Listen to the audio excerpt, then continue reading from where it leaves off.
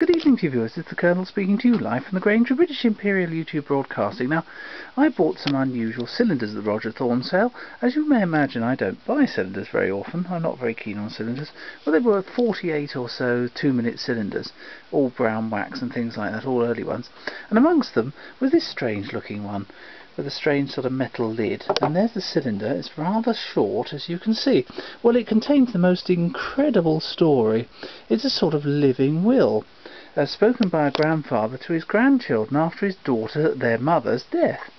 Um, yes, um, and I'm going to play it to you. It's dated 1894.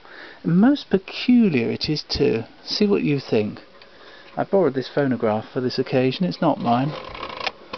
Let's see if we can actually get it to play properly.